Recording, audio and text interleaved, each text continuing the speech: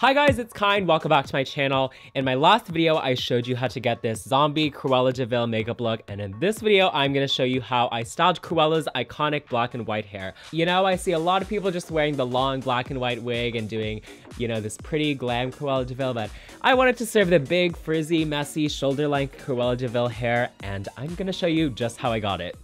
So this video is sponsored by Dona Love Hair. I've used their wigs before on my channel and they're always super thick and great quality and heat resistant too, but I didn't bother curling this one because it already had some nice waves built into it. Um, but the first thing I'm gonna do is I'm securing her down onto my mannequin head and I'm gonna give it a bit of a haircut. Just chopping off a little bit at a time until I get a cut that's just a little bit past my shoulders. I mean, obviously this is not on me, so I don't know where my shoulders are.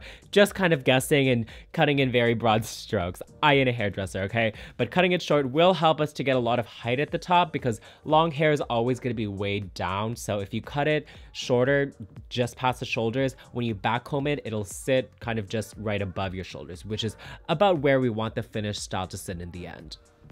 The next step is to cut some layers into this hair. If there were any layers in this wig to begin with, they would have been chopped right off when I cut the hair so short, so we want to give it layers so that we can see some more dimension when we tease it all up. Cruella de Vil's hair is kind of 80s, it's punk rock, so I didn't worry about making it look pretty and perfect. It's gonna be curly anyway, so it's hard to fail here since the curls disguise most of the mistakes. I took some strands at the surface of the hair and kind of cut at like an angle going downwards, so the, a, a, little bit of the hair got a shorter cut, but most of it remained long. The idea is just to get different lengths in here, mostly at the back of the hair on its surface, not on the inside. And this is gonna aid in giving us volume and dimension because there are gonna be longer curls and shorter curls, of course, we don't want so many different lengths that some hair is like close to the scalp. The layers should start near like halfway down the hair. Then again, I could be doing this totally wrong. I do not know how to cut real hair, but you know what? By the looks of it, neither does Cruella de Vil. Her hair looks like it was done by like one of the Dalmatians that has arthritis, okay? So if it doesn't look pretty, then you're on the right track. At least that's what I tell myself.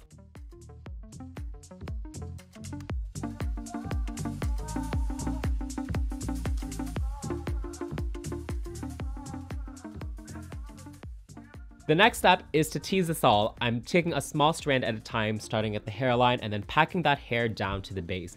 So I have my brush like around the halfway point, halfway because I only want to pack down the roots and not the whole length of hair. And then I just brush down to the base over and over until I get a little cloud of hair there. And then I repeat this process over the entire wig. For the hair that's near the hairline, you want to make sure you tease on the back of the hair so that you can smooth out the front.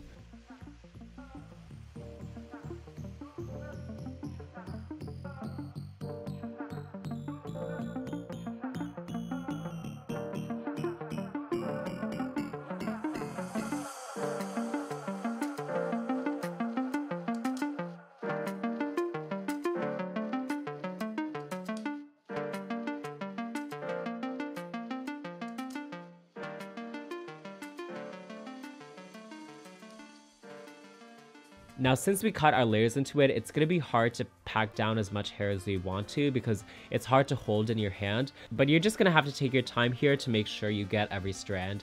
What you should start to see forming is a big cloud of hair that's almost too hard to control, but the tips of the hair should still be visible because we're only teasing at the roots. It's good to have a lot of clips on hand so that you can keep the cloud of hair out of the way once you're done teasing it. That way you can get at the bottom parts of the wig and you can make sure you don't have any missed spots because it really is obvious in the finished look. Something you'll kind of understand more if you've styled lots of wigs is that newer wigs are a lot harder to work with. Sometimes it just feels like the brush just doesn't want to tease them. A wig that's really been through it a couple of times is a lot nicer to work with. But in our case, the wig is brand new, so one thing you can do here is use hairspray to help get some more control of the hair and give it some more texture so it's not so thin feeling and so that you have a little bit more grit to brush through when you're teasing it.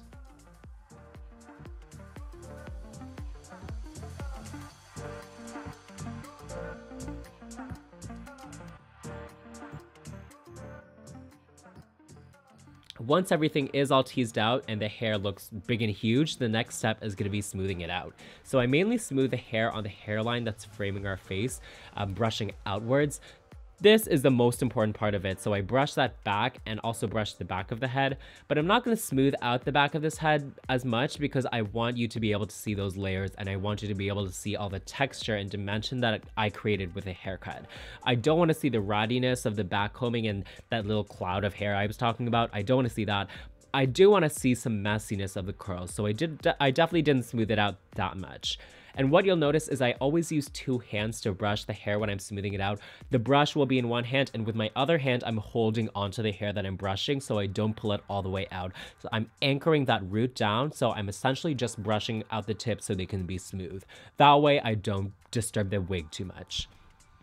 After smoothing it all out, I just used my fingers to adjust it the way I wanted, making sure there was that nice line splitting the black and the white. And I also took a little center front strand of hair and let a nice little skunk stripe of white lay on top of the black, just to add some flair and some spice to it and you can let the natural curls that are built into the wig do all the work for you. Styling wigs is all about seeing what the hair wants to do and seeing which way the waves are telling you to go and just going with the flow. It's not like painting your vision onto a flat canvas which just absorbs everything you do to it. The unique thing about hair, even synthetic hair, is that it can feel like it has a mind of its own at times and it doesn't always do what you want, even if you're really experienced. Sometimes you have to be rough with it, but in most cases you have to be flexible with it and it'll work with you.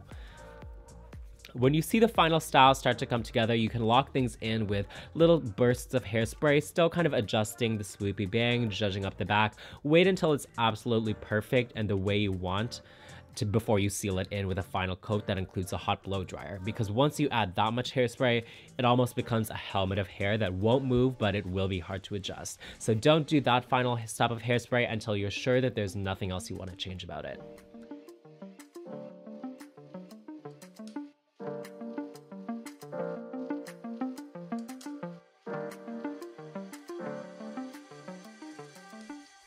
This is a finished look. I absolutely loved it. Of course, you can apply this technique to any wig in any color.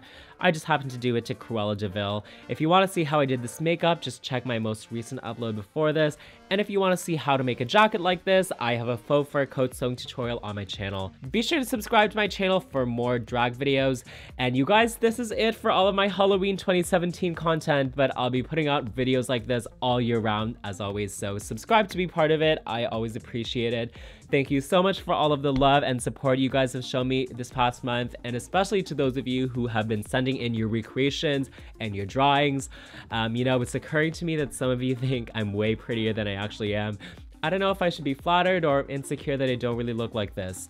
Anyway, thank you again to Dona Love Hair for sponsoring this tutorial. I loved it and I can't wait to hear what you guys have to say in the comments. Let me know what you want to see next from me now that October is coming to an end and I'll see you guys all in my next upload, which I can't wait to share with you guys what it is, um, but you're just gonna have to stay tuned and wait to find out. Bye guys!